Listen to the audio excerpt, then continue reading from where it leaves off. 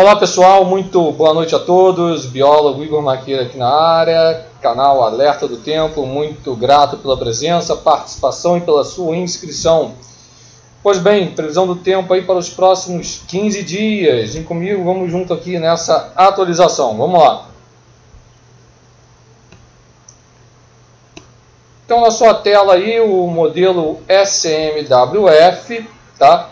É indo da presente data até o dia 12, tá? Uh, e vocês podem perceber o seguinte, né?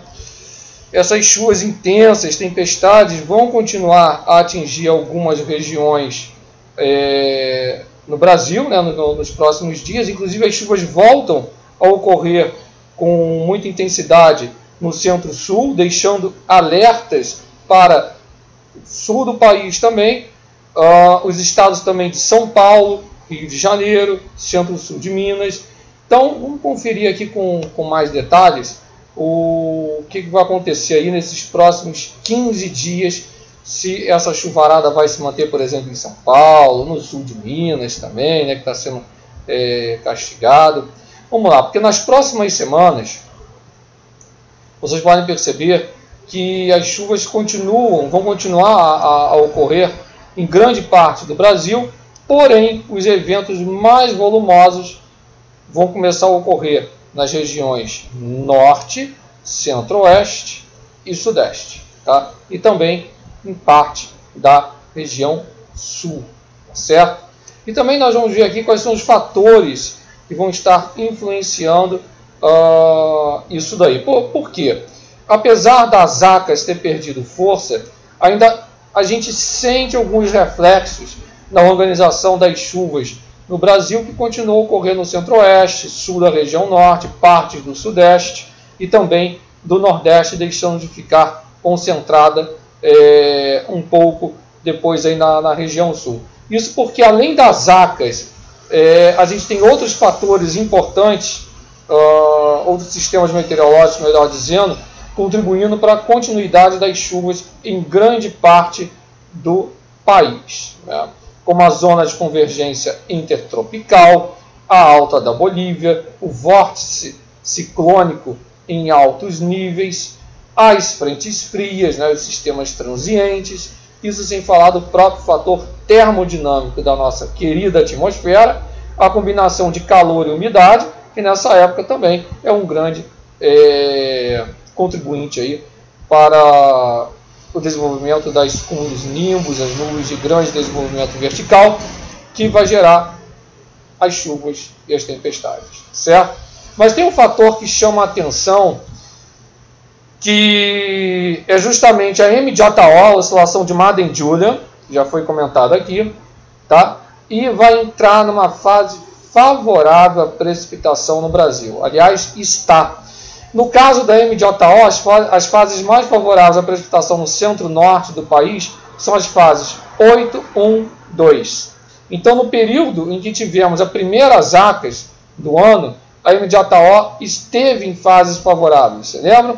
Na 1 e na 2, impulsionando é, esses acumulados associados é, às acas. Mas tem um fator também que é a temperatura da superfície do mar. Né?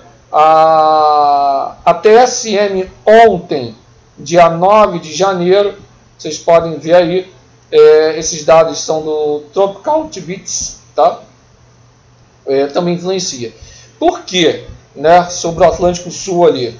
É, isso causa essa modulação da, das chuvas, né, essa anomalia das TSMs. Nos últimos dias, foi observado um padrão de anomalia dessas anomalias opostas entre a porção norte e sul do Atlântico Sul, criando uma espécie de dipolo, né, com essas anomalias negativas de TSM sobre a porção sul, próxima à região sul, e anomalias positivas de TSM sobre a porção norte, abrangendo uma ampla área desde a costa da região sudeste até a costa é, do norte do Brasil. Esse padrão de anomalias de TSM favorece né, a estacionariedade dessas frentes frias, as estacionárias, atuando sobre o oceano, justamente na altura do sudeste aqui, favorece a organização de chuvas, corredor de umidade sobre o continente, desde o sul do norte passando pelo centro-oeste e chegando ao sudeste do país. Ah, professor, na minha região não choveu nada. Lembre-se que a maior atuação desse corredor de umidade e desse padrão de, é, é, é, que se formou foi mais ao norte. Né? Não sei se vocês estão lembrados. Então, além disso, essas águas mais quentes que o normal na costa do sudeste e nordeste favorece a convergência de calor, de umidade na costa da região, além de favorecer a formação de ciclones, como foi o caso do ciclone subtropical formado na última semana. Nos próximos dias, ou melhor, na próxima semana, a gente vai ter um período de favorecimento às chuvas por parte da MJO, que se encontra nessa fase aqui, que está na sua tela, está no seu vídeo. É, ela vai ficar na fase 2 nos próximos dias não tão intensa quanto esteve na semana passada, mas de qualquer forma vai estar contribuindo para o aumento dos acumulados de chuvas sobre o centro-norte do país, principalmente na costa da região norte, sobre o estado do Amapá, por exemplo, é, onde a, a Madem Julia vai impulsionar os altos acumulados de chuvas gerados pelas zonas de convergência intertropical. Né? É, então, na sua tela está a previsão da atuação da oscilação de Madden Julian, é, pelo seu diagrama de fases à esquerda e pelos campos de anomalia de radiação de onda longa à direita para os próximos 15 dias. Os dados são do CPC da NOAA, né, do Climate Prediction Center. É, na próxima semana, a MJO vai estar na fase 3, 4. Ah, professor, então vai mudar. Vai. É, essa oscilação já passa a desfavorecer as chuvas sobre grande parte do Brasil, especialmente no leste da região norte, grande parte das regiões norte, sudeste e centro-oeste. Portanto, esperamos sim uma redução dos acumulados de chuva a partir da próxima semana. Ah, professor, mas está muito calor, por exemplo, que no Rio de Janeiro está um inferno. Então, nas próximas semanas, a gente espera acumulados elevados de precipitação sobre parte da região norte, centro-oeste e sudeste. Vai ter alguma chuva volumosa, é, assim, sobre o sul também, principalmente sobre o Rio Grande do Sul, por quê? Né? É, nesta semana, mais precisamente amanhã, olha só, então vamos colocar aqui, eu preparei aqui bacana para vocês verem. Do 8, do dia 8, perdão, dia 15, do dia 15 ao 22. Vamos nos focar primeiro aqui, onde eu estou com o mouse aqui, ó. Do dia 8 ao dia 15. Tem chuva chegando para o sudeste? Tem. Ah, mas São Paulo está chovendo. Está chovendo, mas de forma assim, bem localizada. É, Minas Gerais também, né, ali mais para o centro-sul de Minas. Mas enfim, é, norte de Minas também recebeu chuva né, uh, em algumas localidades. Mas a partir de amanhã, quinta-feira, frente fria se formando sobre o sul do Brasil, responsável por gerar altos acumulados de chuva sobre os estados do sul, mas também sobre o sudeste e centro-oeste, onde essa frente vai organizar a chuva, essas chuvas, por alguns diazinhos sobre a região mesmo afastada do continente, vai dar um refresquinho, aqui no Rio de Janeiro, por exemplo, mas não necessariamente formando masacres. Dessa forma, a gente espera grandes volumes de chuvas na, nesta próxima semana sobre o sul, principalmente sobre o Rio Grande do Sul, e vai pegar partes do sudeste e partes do centro-oeste. Tá? É, previsão de anomalia semanal aí na sua tela do acumulado de chuvas para semanas do dia 8 a 15 à sua esquerda, 15 a 22 à sua direita. Modelo europeu, tá? É, conforme a gente pode ver também, esses campos de anomalia de acumulados semanais de chuvas, né?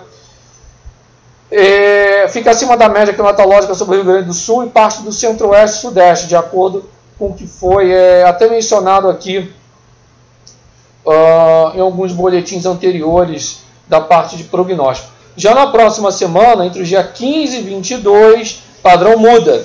Menos chuvas que o normal sobre grande parte do centro-norte do país, acumulados próximos da média sobre o sudeste, com uma pequena região é, entre o Rio e o Espírito Santo, com previsão de chuvas acima, e chuvas mais volumosas sobre o Grande do Sul.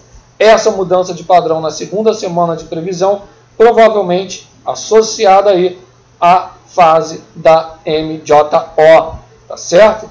Provavelmente ela vai continuar imediatamente nesse ciclo. Vai retornar a fases favoráveis? Vai. A chuva no, no Brasil nas primeiras semanas de fevereiro.